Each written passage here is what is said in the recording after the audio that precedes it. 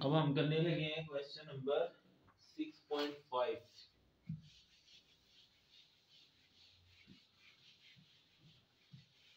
Question number जो 6.5 है, उसमें जो पहला है वो है A union C A union C ये ए का सेट है और ये सी का सेट है। दोनों के सेट पहले हम लिखेंगे। पहले ए का सेट यूनियन सी का सेट मैं सिर्फ़ इसका आंसर ही लिखूँगा। Zero two three four five six और एट बस कोई हिंसा डबल नहीं आपने लिखना। सारे लिखने हैं, लेकिन वन टाइम लिखने तो ये यूनियन होता है। यूनियन में क्या होता है? दोनों के लिखेंगे, लेकिन जो कॉमन होगा, उसको एक टाइम ही लिखेंगे। सिंपल ठीक है? छोटी क्लासों का सवाल है। उसके बाद है ए इंटरसेक्शन बी। ए और बी में जो कॉमन होंगे वो लिखेंगे। ए और बी में कुछ भी कॉमन नहीं है तो खाली सेट आ जाएगा। उसके बाद है सी कंप्लीमेंट तो ये आ जाएगा एस माइनस सी तो ये एस का सेट है और ये सी का सेट है। तो ये वाला इधर से निकाल देंगे। Two, four, three, two, three, four, five. Two, three, four, five. ये निकाल लें बाकी क्या आ गया? ज़ीरो है। वन है सिक्स सेवन एट और नाइन है। उसके बाद है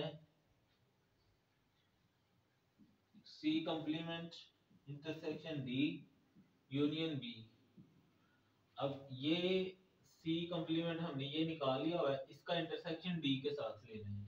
दोनों में देखें क्या कॉमन है सिक्स और सेवन वन भी तो ये मैं इस सारे का आ गया वन सिक्स और सेवन ये मैंने पहले निकाल लिया ना इधर, और इसका इकट्ठा मैंने ये निकाल लिया। आपने लिखना है तो लिख लेंगे पहले। ये वैल्यू लिखेंगे इंटरसेक्शन ये लिखेंगे। तो ये पहले ब्रैकेट डालो के ये आंसर आ जाएगा। आगे यूनियन बी लिखेंगे, ये बी का सेट है।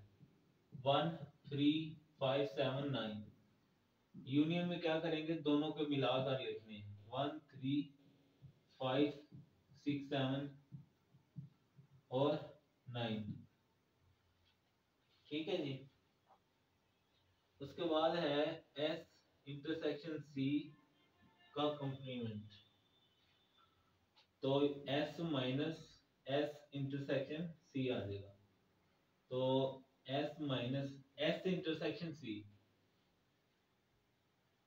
S और सी का इंटरसेक्शन तो ये आंसर आ जाएगा। Two three four five two three four five अब एस वाले सेट में से ये निकाल देने। ये एस वाला सेट है, इसमें से ये टू थ्री फोर फाइव निकाल दें। तो बाकी क्या आ जाएगा? Zero one six seven eight nine तो ये आंसर आ जाएगा। Zero one six seven eight और नाइन ठीक है? उसके बाद लास्ट पार्ट है A intersection C intersection D complement तो पहले हम डी कंप्लीमेंट फाइंड कर लेते हैं। डी कंप्लीमेंट में क्या आएगा? एस माइनस डी ये एस वाले और ये डी वाले वन सिक्स सेवन निकाल दें। बाकी बचेगा वन सिक्स सेवन छोड़ दें। बाकी सारा लिख लें।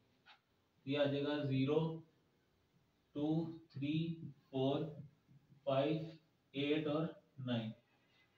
अब ए और सी का इंटरसेक्शन ले लेते हैं पहले। ए और सी का इंटरसेक्शन ये ए और ये सी है। दोनों में देखें क्या कॉमन है। टू और फोर। ए और सी का इंटरसेक्शन आ गया, टू और फोर। आगे ये इंटरसेक्शन डी कॉम्प्लीमेंट ये आ गया। Zero, two, three four five eight and nine जो दोनों में कॉमन है वो लिख लेंगे। टू और फोर दोनों में है। तो इस तरह ये क्वेश्चन नंबर जो फाइव है सिक्स चैप्टर का वो कंप्लीट हुआ यहाँ पर।